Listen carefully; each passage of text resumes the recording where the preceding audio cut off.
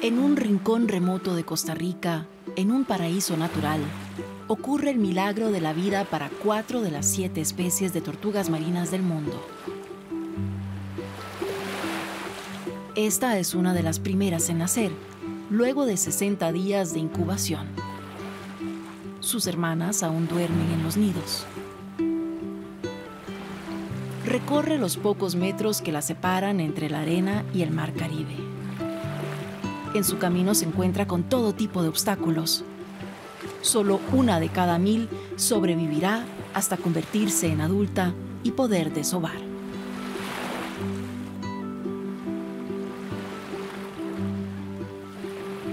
En Tortuguero, un islote ubicado en el Caribe de este país centroamericano, encontramos la segunda playa más importante en nacimientos y anidación para la tortuga verde a nivel mundial.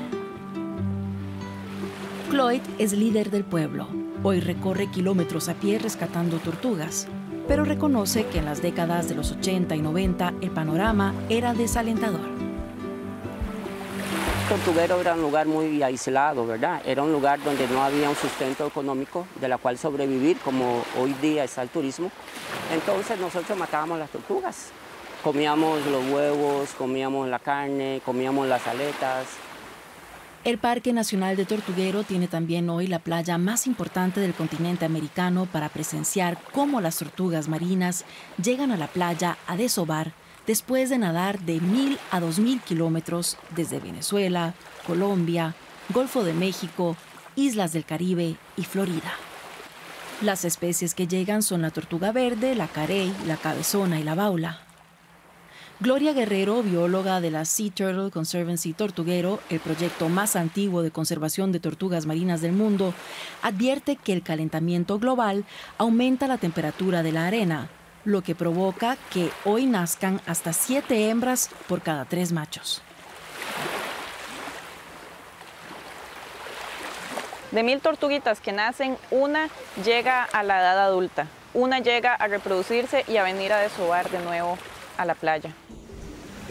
El proceso no es fácil. Empujan con sus aletas su cuerpo de más de 160 kilos. Escogen el sitio de anidación y excavan un hoyo en la arena que mide en promedio unos 25 centímetros de ancho y 60 centímetros de largo. Las tortugas se guían por la luz de la luna, el desove se hace durante la noche y para verlas se utiliza luz roja porque la blanca las ahuyenta y regresan al mar. Cuando desova, la hembra entra en un periodo de trance y nada la detiene. Cae un huevo y otro y así hasta los 110 o 120 que pone por nido, unos mil por temporada. Luego cubre la nidada con arena para protegerlos de los depredadores. Con sus aletas mueve el lugar exacto donde se encuentran los huevos.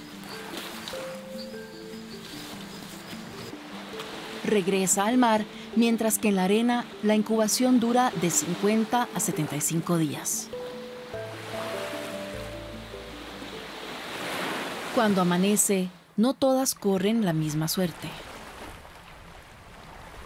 Renato Brunorena, biólogo del área de conservación de Tortuguero, nos muestra los restos de una tortuga destazada dentro del Parque Nacional. Sacaron su carne y dejaron el caparazón. Esas tortugas que anidan en el Caribe de Costa Rica eh, migran para sus zonas de alimentación en la costa caribe de Nicaragua. Y en la costa caribe de Nicaragua, las, regiones autónomas, eh, existe una cacería legal de tortugas marinas verdes que mata hasta 15 mil tortugas por año. El pasado de la comunidad cazadora todavía no desaparece. Situaciones de este tipo ocurren frecuentemente durante la noche y la madrugada. Esa misma mañana, en otra zona, los investigadores se encuentran con esto.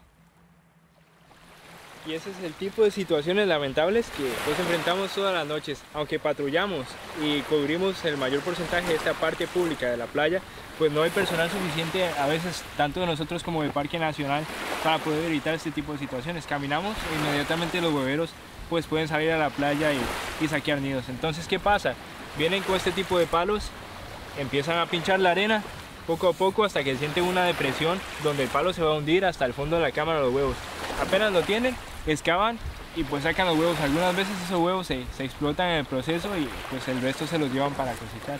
Y es una situación lamentable que definitivamente tenemos que empezar a intentar reducir, pero claro, no hay el apoyo suficiente y, y personal suficiente para, para evitarlo. El 90% de los huevos extraídos se consumen crudos porque se cree que son afrodisíacos, aunque eso no tiene ninguna evidencia científica.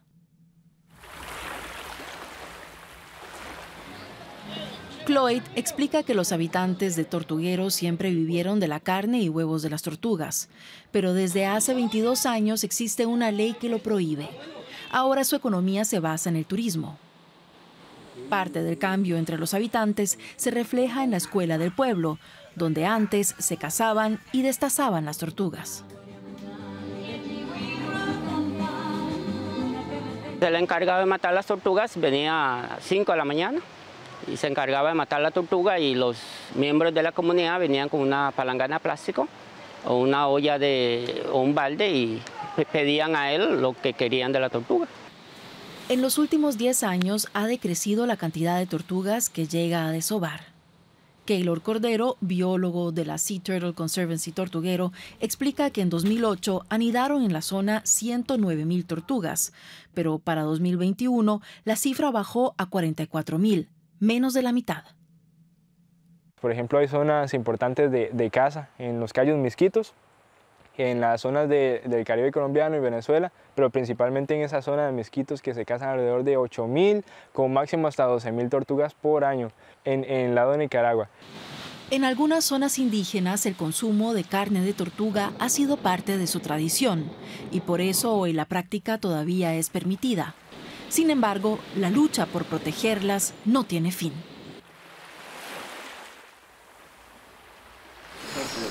Para ingresar a la playa, cada guía debe hacerlo junto a sus turistas. Todos deben llevar ropa oscura. ¿Me permite su carnet, por favor, don Rey? Acompañamos a los guardaparques en el monitoreo nocturno. Si el guía excede la capacidad de turistas, recibe una sanción. Serían siete personas, ¿verdad? Sí. Ok. 12 personas de la comunidad, quienes son conocidos como rastreadores, fueron capacitados para buscar tortugas dentro de la playa y avisar a cada guía cuando las hembras están a punto de desovar para que puedan acceder al avistamiento. En esta caseta los guías compran el pase de ingreso por cada turista.